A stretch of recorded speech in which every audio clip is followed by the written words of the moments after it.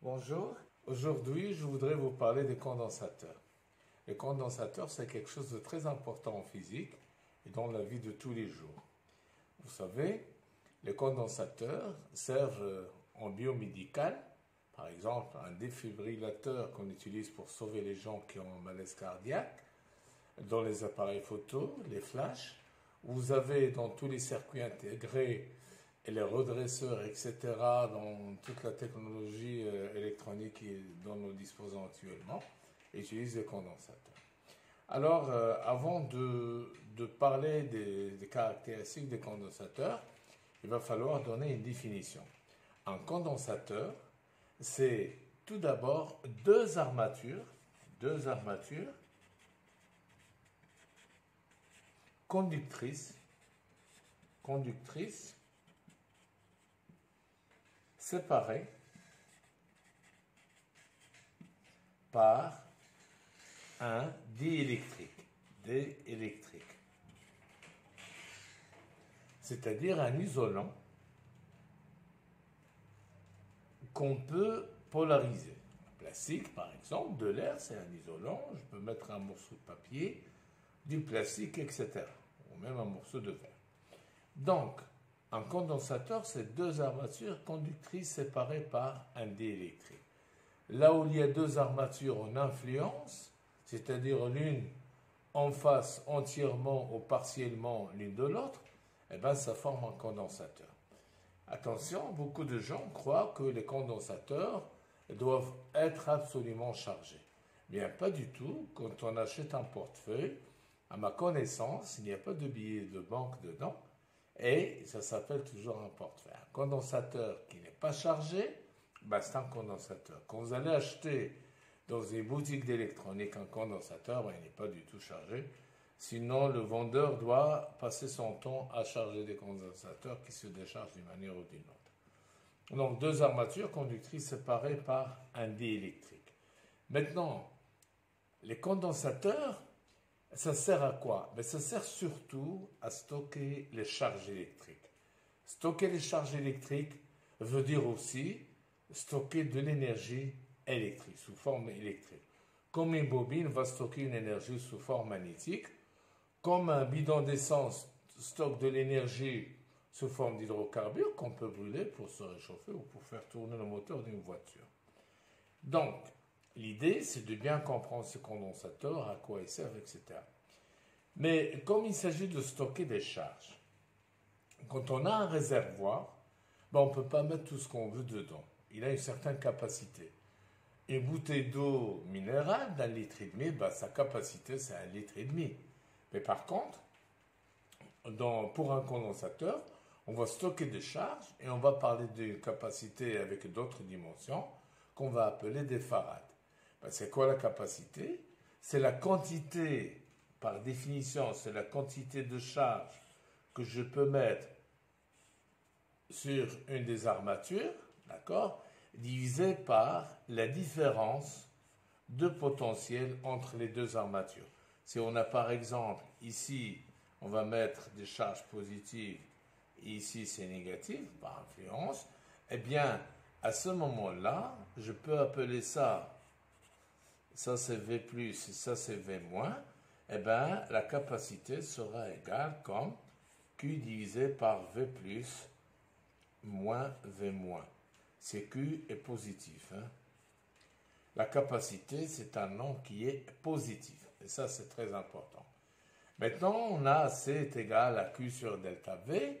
V c'est en volts, donc je peux écrire que les dimensions de la capacité, c'est tout simplement des coulombs par volt. Et ça, on l'appelle le farad. Attention, le farad, c'est une unité trop importante. Il va falloir travailler avec des sous-unités, des microfarads, des millifarads, des picofarads, etc.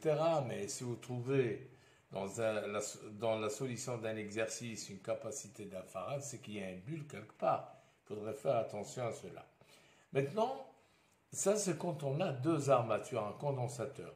Mais on peut définir la capacité d'un conducteur. Capacité d'un conducteur.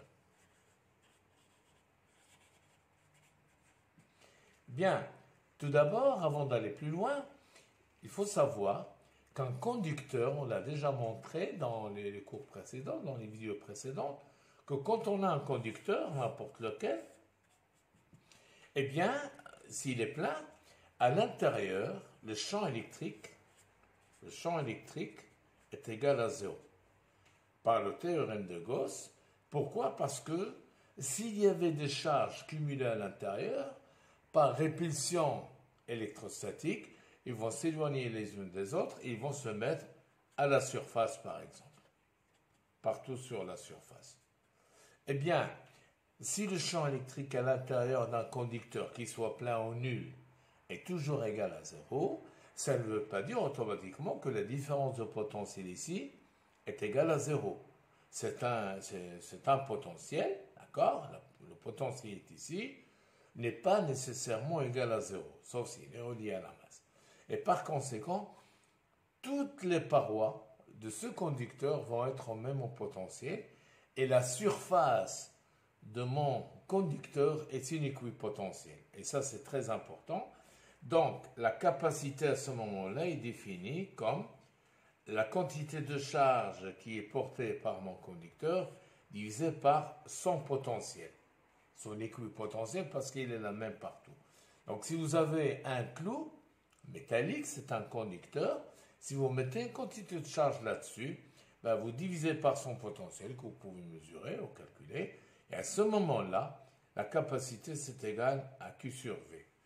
Par exemple, si nous avons un conducteur qui est sphérique, si on a une sphère de rayon R,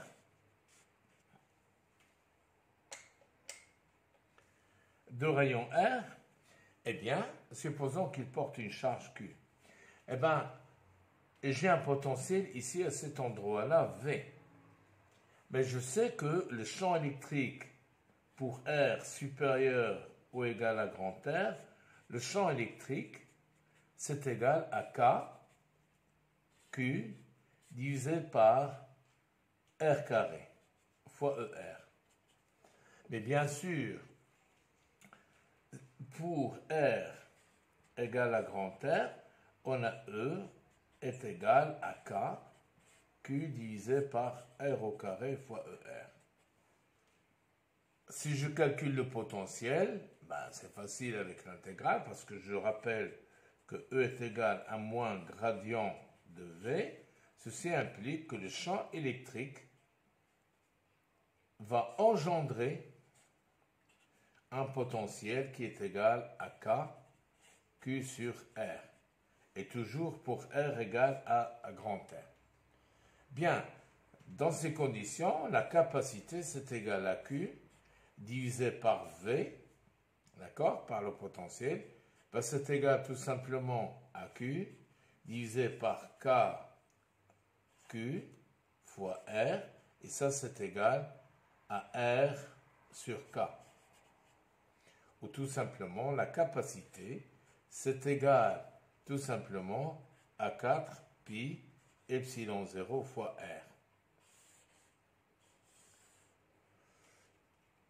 R. Ben, par exemple, pour la Terre, considérée comme conductrice, je connais le rayon de la Terre, c'est 6400 km à transformer en mètres. Vous avez 4 pi epsilon 0, ça veut dire 1 sur 9, 10 puissance 9, eh bien, je calcule, je trouve qu'il y a une capacité qui est très très très très faible. Et c'est pour cela, tout à l'heure, j'ai dit que le farad, c'est une unité très forte.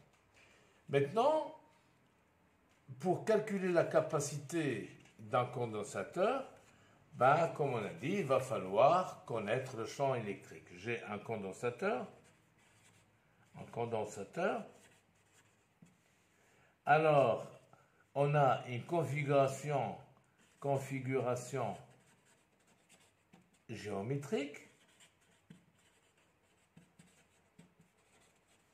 Ça veut dire une symétrie donnée. Alors, on calcule le champ électrique. Lui va donner le potentiel Et puis on va trouver le delta V et on utilise la capacité comme Q sur delta V. Donc la première des choses, c'est de bien situer la configuration géométrique que vous avez. Si vous avez une configuration sphérique, bah, vous avez compris, on utilise le théorème de Gauss pour calculer le champ électrique en prenant comme surface de Gauss une sphère fermée. Si c'est un plan qui est chargé, un plan infini par exemple, bah, on va utiliser la configuration de la symétrie pour un plan, on va utiliser soit un parallélogramme ou un cylindre comme on l'a vu avant. Et si vous avez un cylindre, ben, la surface de Gauss va être un cylindre. On va se limiter dans cette vidéo à trois configurations géométriques les plus utilisées. C'est le condensateur plan, le condensateur cylindrique, et puis on terminera par le condensateur sphérique. Alors, condensateur plan. Condensateur, con deux plans. Rappelons, quand on a un plan infini, donc moins l'infini, plus l'infini, plus l'infini, moins l'infini, je rappelle que ce plan n'existe pas. On a montré dans une vidéo précédente que le champ électrique est partout perpendiculaire. Si on met bien sûr des charges positives ici, le champ fuit la plaque. Ça, c'est le champ électrique. Et nous avons montré que le champ électrique, il est partout le même, et E, la valeur, c'est égal tout simplement à sigma sur 2 epsilon 0. En appliquant le théorème de Gauss, c'est très très simple à, faire, on l'a déjà fait dans dans une vidéo précédente. Maintenant, supposons que j'ai deux plaques, d'accord? Une qu'on va mettre positive et l'autre négative. J'appelle celle-là la négative.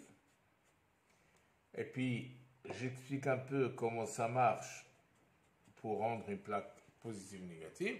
Vous savez que l'électron est 1836,15 fois plus légers que les protons, c'est eux qui bougent le plus facilement.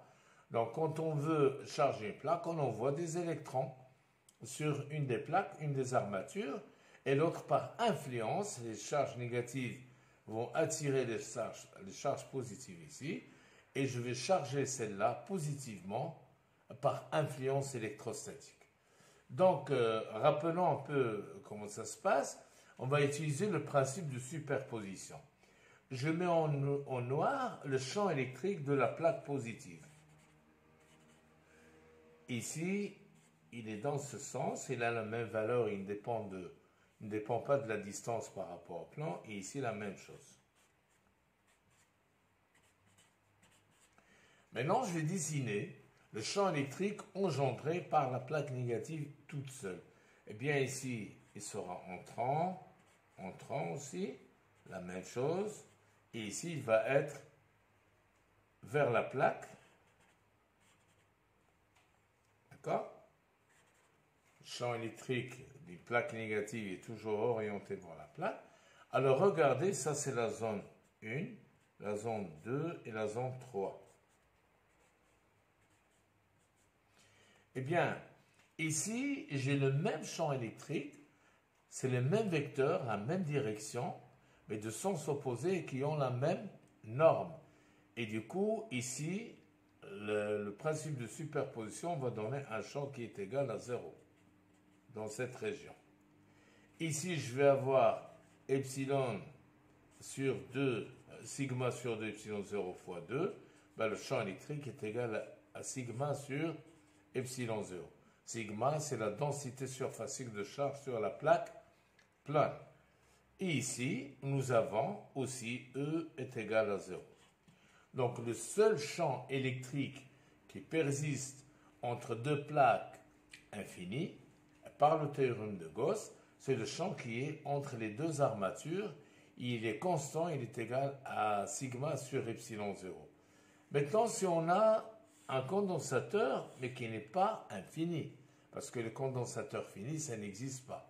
Eh bien ici, si je mets les plus ici, elle est moins, eh bien je vais avoir quoi? Je vais avoir un champ électrique ici qui est perpendiculaire aux plaques, et plus je m'approche, plus ça va s'incurver. Idem de ce côté-là.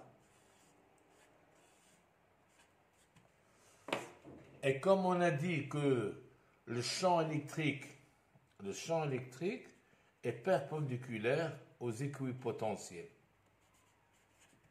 Ça veut dire au milieu, je vais avoir une équipotentielle comme ça. Ici, ça va s'incurver un tout petit peu, et puis de l'autre côté. Et ici, la même chose, ça va s'incurver comme ça. Ça, c'est les équipotentiels, c'est des surfaces qui s'incurvent sur les, bords. Et, au centre, juste entre les deux armatures, à mi-distance, eh bien, c'est un plan qui, qui est euh, fini. Parce que, comme on a dit, ça, c'est une, une configuration d'un condensateur plan qui est fini. Alors, ces incurvations ici, ces, courbures, on va les appeler les effets, les effets de bord, qu'on va les négliger.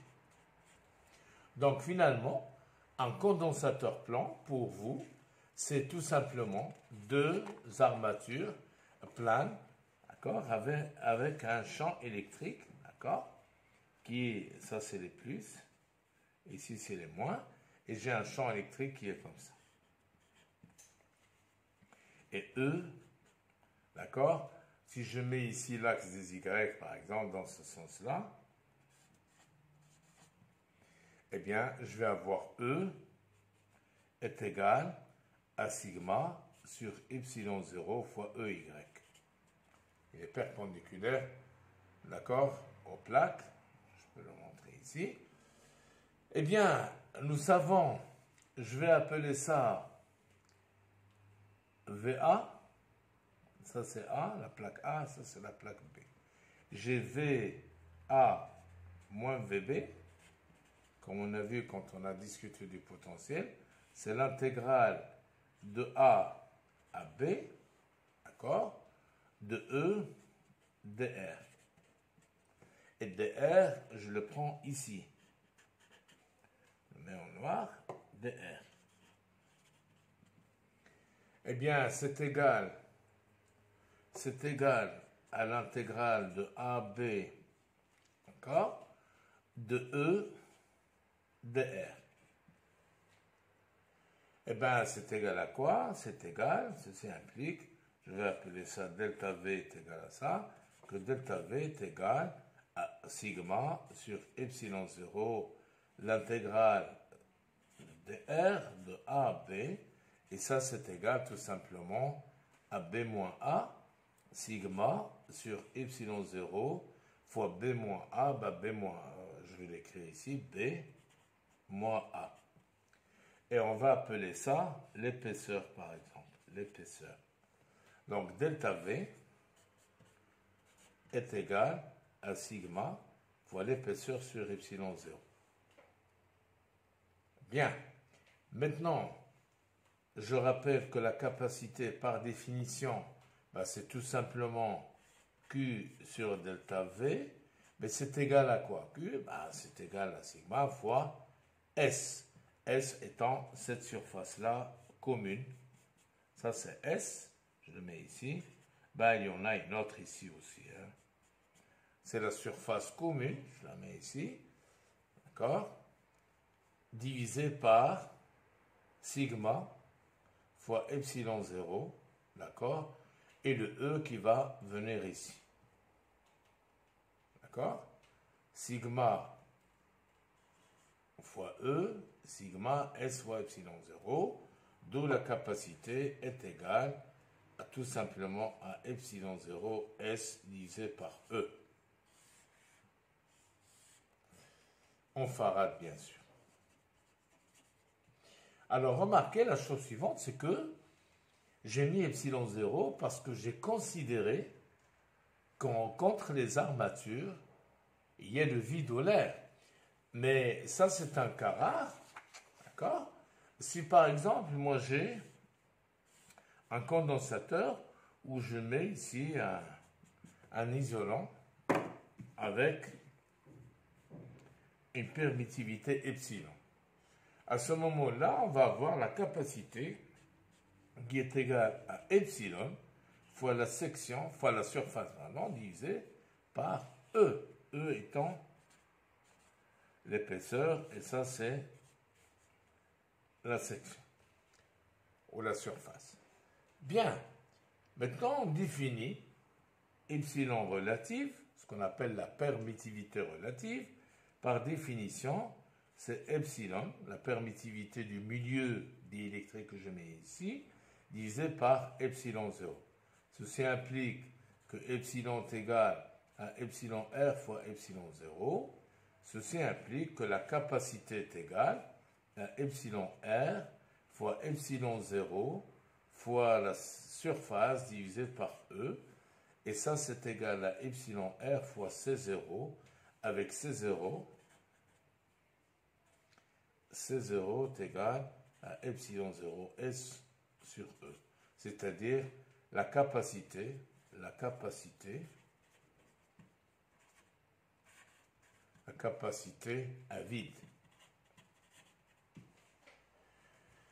Bon, il y a beaucoup d'exercices qu'on trouve dans les concours, dans certains examens. Vous avez un condensateur, par exemple, où j'ai la moitié avec epsilon 1 et l'autre moitié avec epsilon 2. À ce moment-là, comment il faudrait faire? Ben, Tout simplement, la différence de potentiel entre ce point-là et ce point-là est la même que là, parce que ça c'est un conducteur et c'est une équipotentielle. Donc si je mets ici V1, ben, je vais avoir ici V1 dans cette partie. V2, ici V2.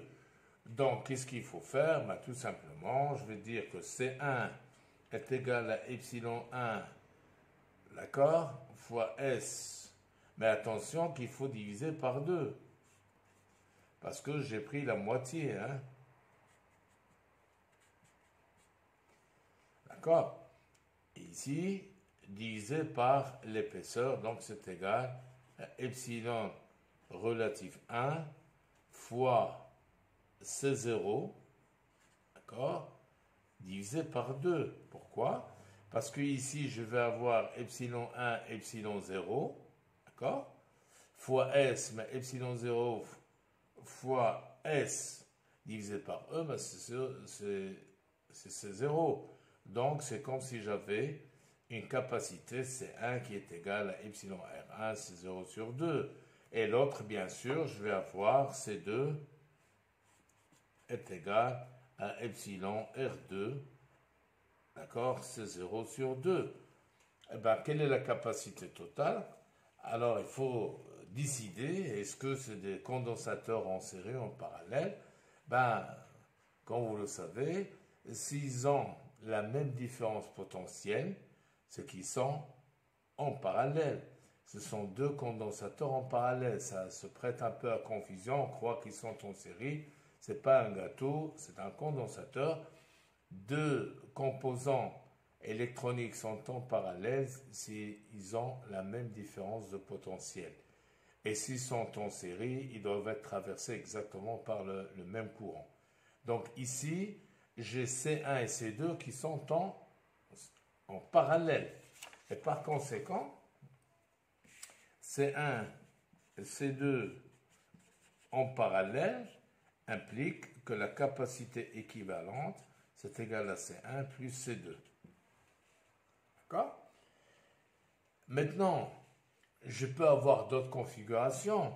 Au lieu de dire que j'ai coupé ça en, deux, ben, je peux mettre par exemple ici coupé en 1 sur n. Genre, j'ai un condensateur, voilà, je prends une petite partie ici et je dis que ça c'est S sur n.